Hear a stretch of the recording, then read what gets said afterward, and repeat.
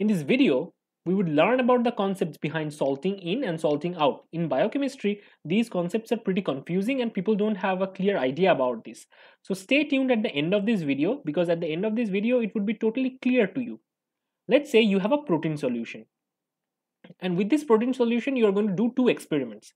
In the first set of experiment, you have added a salt solution where the ionic strength is not too high and you have noticed that with mild increase in the salt concentration the increase of the solubility.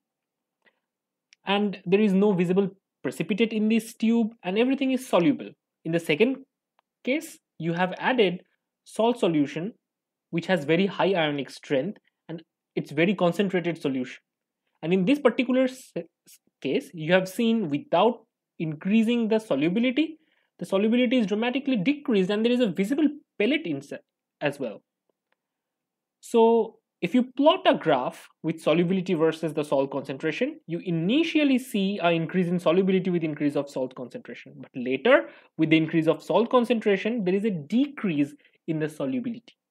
The first phenomena is popularly known as salting in. With increase of salt concentration, there is increase in solubility. And the second condition is known as salting out. With very high salt concentration, the proteins are precipitated out. But have you ever wondered how this thing actually work at a molecular level? So in order to understand that, you need to know about the protein structure a little bit. So you know in protein structure, there are many ions, right? And there are many amino acids which could be charged. For example, there are aspartate or glutamate, which could be negatively charged. There are also possibilities that there are lysine, arginine, these kind of basic residues. And based on the pH, these residues would be charged. So protein would have some charge on it, right? It's, it's totally legitimate.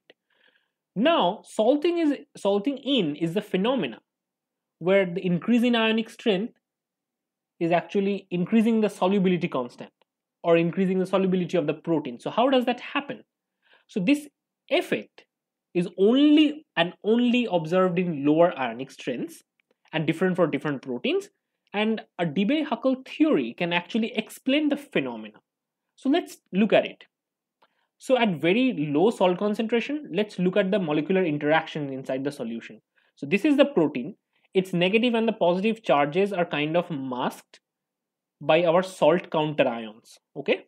And now these salt counter ions are effectively masking all the different sort of charges of the protein. And then the solvent ion uh, in this case the water is actually creating a hydration shell around the protein.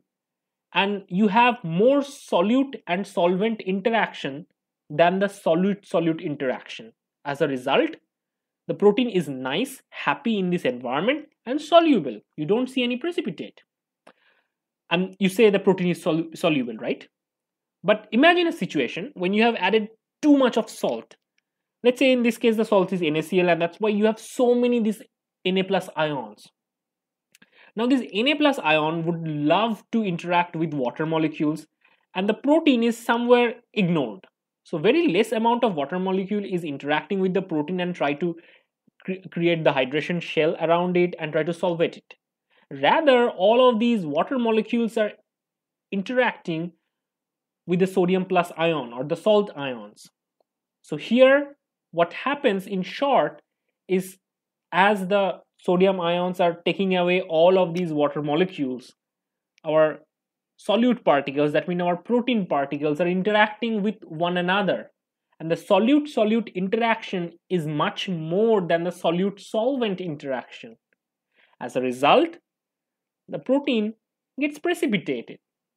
So that is the concept behind salting in and salting out. So in this situation, we are going to call it as salting out. And you can see the visible pre precipitate in the protein, right? Now, what we learned from so far is at low salt concentration, the protein is effectively, the protein's charge is effectively masked by the counter ions and the hydration shell is nicely formed around it as a result this protein is soluble but with very high salt concentration all of the solute molecules are interacting with each other rather than interacting with the solvent molecules. So solute-solute interaction is much more higher than the solute-solvent interaction. As a result, it's pre precipitating.